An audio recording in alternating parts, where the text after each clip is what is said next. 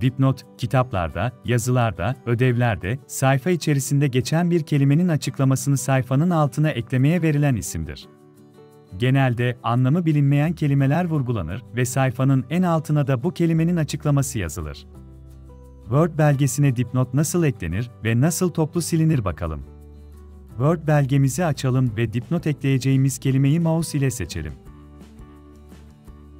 Word ekranın üst menüsünde bulunan Başvurular kısmına girelim.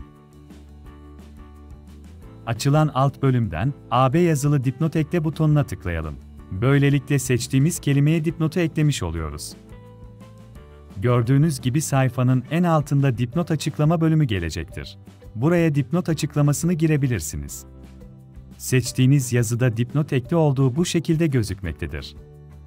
Mouse ile üzerine geldiğinizde dipnot açıklamasını görebilirsiniz. Sayıya çift tıkladığınızda sayfa altındaki dipnota ulaşırsınız. Birden çok sayfada ekli olan dipnotları toplu olarak nasıl silebiliriz buna bakalım. Öncelikle Word sayfalarının hepsini Ctrl A tuşuna basarak seçelim. Şimdi klavyeden Ctrl H tuşuna basalım. Karşımıza bul ve değiştir ekranı gelecektir. Değiştir bölümünü tıklayalım ve aranan bölümüne şapka işareti koyarak F harfini yazalım. Son olarak tümünü değiştir butonuna tıklayalım. Bu şekilde Word içerinizdeki birden çok bulunan dipnotları toplu olarak kaldırmış olursunuz. Yeni bir video çalışmasında görüşmek üzere, kanalımıza abone olun, takipte kalın.